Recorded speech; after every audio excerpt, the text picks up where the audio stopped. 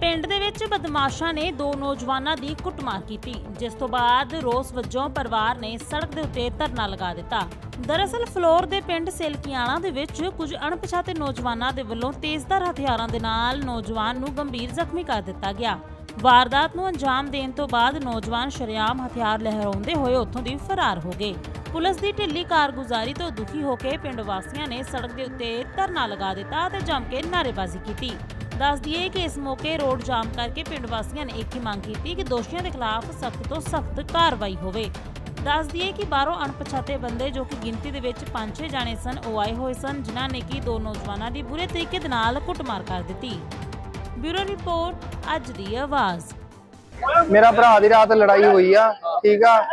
ਕੋਈ ਬਾਹਰੋਂ ਅਨਸ਼ਵਾਤੇ ਬੰਦੇ ਆਏ ਆ, ਠੀਕ ਆ? ਉਹਨੂੰ ਵੱਢ ਟੁੱਕ ਕੇ ਉੱਥੇ ਚਲੇ ਗਏ ਆ। ਕਿੰਨੇ ਮੁੰਡੇ ਇੰਜਰਡ ਹੋਏ ਆ? 6 5 6 ਜਣੇ ਹੋਣਗੇ। ਤੇ ਜਣੇ ਉਹਨਾਂ ਦੇ ਕਈਆਂ ਦੇ ਜ਼ਖਮੀ ਵੀ ਜ਼ਿਆਦਾ ਸੀਰੀਅਸ ਹੋਏ ਆ ਭੇਜੇ ਬਾਹਰ ਜਲੰਧਰ ਭੇਜੇ ਨਾ?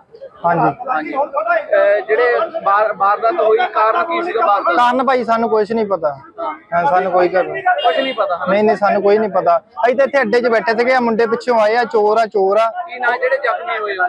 ਜ਼ਖਮੀ ਹੋਏ ਮੇਰੇ ਭਰਾ ਦਾ ਨਾਂ ਗੁਰਦੀਪ ਕੁਮਾਰ ਆ। ਤੇ ਮੁੰਡੇ ਦੂਜੇ ਦਾ ਨਾਂ ਜੱਗੀ ਆ। ਹਾਂ। ਓਕੇ ਕੀ ਮੰਗ ਕਰਦੇ ਹੋ? ਹਾਂਜੀ। ਮੰਗ ਕੀ ਕਰਦੇ ਹੋ? ਮੰਗ ਸਾਨੂੰ ਚਾਹੀਦਾ ਆ। ਇਨਸਾਫ ਚਾਹੀਦਾ।